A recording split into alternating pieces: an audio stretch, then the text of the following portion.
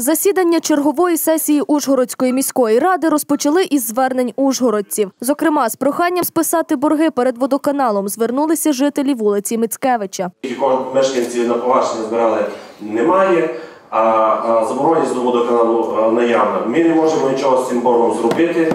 У нас прохання дуже велике включити до порядку денного, допомогти в цьому питанні, так як е, сесія міської ради має повноваження прийняти рішення щодо е, можливості списання цього заборгованості. Борги накопичилися за більш ніж 10 років, а гасити нема кому, адже колишнє керівництво кооперативу не перерахувало кошти. А мешканці, які боргували, вже давно не власники квартир. Через проблему з боргами люди навіть не можуть створити ОСББ. Однак списати борг не вихід, кажуть у міській раді.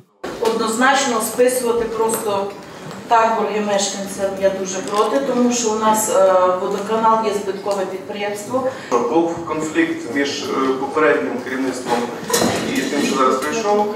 Є накопичена заборгованість підтвердження рішенням суду. Ми пішли на зустріч, взяли на індивідуальний облік і зараз здійснюються розрахунки з кожним конкретним. Єдине, що ми можемо запропонувати, це реструктуризувати заборгованість Вже завтра пообіцяли вирішити питання. Далі депутати взялися розглядати порядок денний. Несли зміни до програми благоустрою міста, якими передбачили виділення майже 78 мільйонів гривень на капітальні ремонти доріг, тротуарів, велодоріжок тощо. Пропозицію одного із депутатів щодо виділення коштів жителям міста для виготовлення технічної документації не підтримали. Прохання до колег проголосувати це підтримати за рахунок вільного залишку і внести відповідні зміни до бюджету. Так, Оксана Володимирівна, будь ласка. Дані стафік, ця програма не йде на сесію, вона не може йти критичними зауваженнями. куди я внесу зміни, не маючи уточненої суми, куди що. Віктор Іванович, дивіться, шановні колеги, Наступне. питання слушне.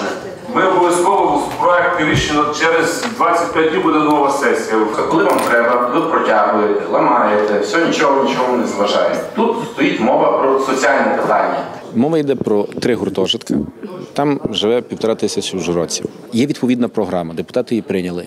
І от сьогодні, коли я пропонував 200 тисяч виділити, щоб це профінансувати, вже люди чекають півроку.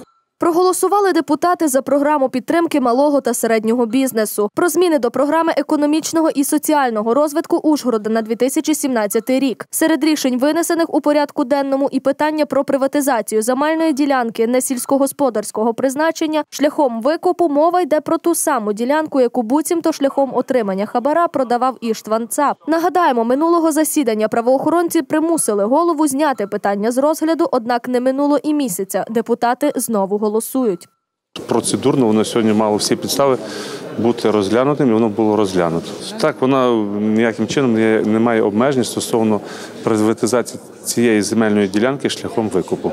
Рішення не пройшло. Проголосували міські обранці за збільшення відсоткових ставок на житло та об'єктів для бізнесу. Я сьогодні вніс пропозицію, щоб ці е, процентні ставки на розвиток інфраструктури міста підняти з 1% до 3% – це з будівництва житла, і з 2% до 8% – це з бізнесових проєктів, з нежитлових об'єктів, для того, щоб ці кошти ми могли спрямувати на розвиток інфраструктури нашого міста. До цього ставки в Ужгороді були одними з найнижчих, принаймні так запевняє міський голова. Ну а на завершення в питанні різне звернення до уряду. Розумно і доцільно провести економічний аудит торгівельних відносин з окремими районами Донецької та Луганської областей, розробити перелік конкретних критично важливих для України груп товарів, в першу чергу, в першу чергу енергоносіїв тимчасово окупованих територій. У мене є, є питання до цього звернення, як депутат хочу їх виставити. Можна? Я ставлю на Богдан голосування. Остафович, дайте слово. Регламент вимагає давати слово. Що ви зараз перетворюєте все? Будь ласка, Віктор Іванович, будь ласка. Припиніть, будь ласка, голосування, дайте слово.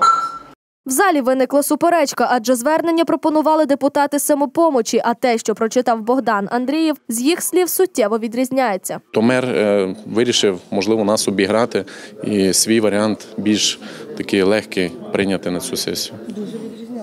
Суттєво відрізнялося. Так в ньому чітко не було прописано, що Росія виступає окупантом, і між Україною і Росією є війна. Тож сесію завершили дискусією суперечками. Однак за звернення в результаті все одно не проголосували.